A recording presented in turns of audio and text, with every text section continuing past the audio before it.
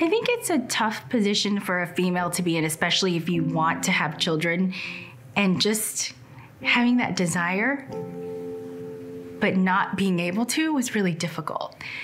Uh, and when if you ask, go ahead. go social ahead. media was the worst.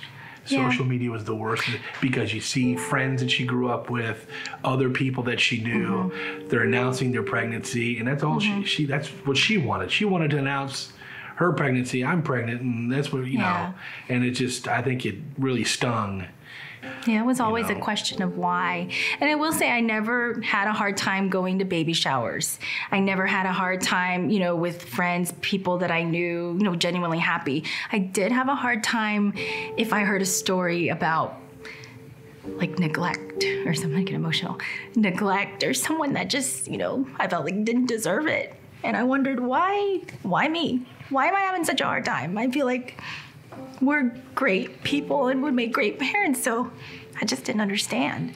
And unfortunately, those neglect stories would come home because she'd watch me on TV and see a story that I'm covering with someone who left two two year olds in a car or and they died or something like that. And of course, it hit, hit home. It hit to the point where she didn't even want to watch anymore. You know, it was mm-hmm. just Yeah. too much. So the other thing I had a hard time with was I was very quiet about what was happening because I just didn't think anyone would understand. My family has never had problems, you know, with infertility. Another thing that was difficult for me was my mother actually. She would ask, "What's wrong with you? Why don't you want to have kids?" She you know? wasn't. She wasn't trying to be. No, hateful. no, no. She was. She just didn't understand. Yeah. That Yeah.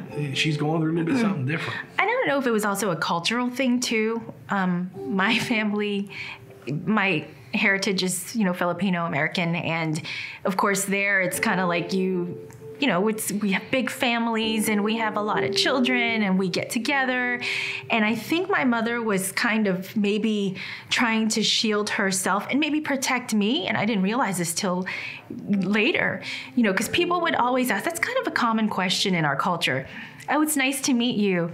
How many kids do you have? It's kind of the first question. It's a little strange, but you know, that came up all the time. But then it got to the point where, where my mother was saying, This is my youngest daughter, Mallory. She lives in Richmond and she doesn't want to have any kids. So I was really angry for a long time, wondering, like, why does it have to be the way you introduce me? That's not part of who I am. So I struggled with that. That was a big struggle.